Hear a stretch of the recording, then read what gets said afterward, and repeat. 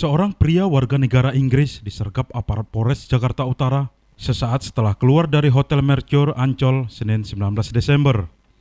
Bersama istrinya, polisi meringkus pria berusia 76 tahun tersebut atas kepemilikan tujuh koper berisi uang palsu senilai 20 miliar rupiah di tempat tinggalnya Depok. Kasat Reskrim Polres Jakarta Utara AKBP Irwan Anwar mengatakan, Penangkapan pasangan suami istri Andreas dan Visilia berawal dari laporan warga negara Jepang Yoshitomo Fukunaga 41 tahun yang mengaku ditipu oleh pasangan suami istri tersebut. Dari keterangan korban, sebelumnya pelaku menjanjikan akan menjual emas batangan sebanyak 15 buah dan pembayaran dilakukan korban secara bertahap selama tiga bulan.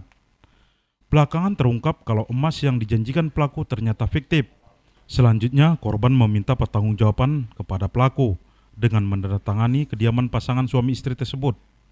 Oleh pelaku, korban selanjutnya diberikan ratusan lembar uang dari negara Myanmar sebagai gantinya. Namun saat ditukar ternyata uang tersebut palsu. Korban kemudian melaporkan kasus itu ke Polres Depok. Dari Jakarta Utara, Yahya Abdul Hakim, Poskota TV melaporkan.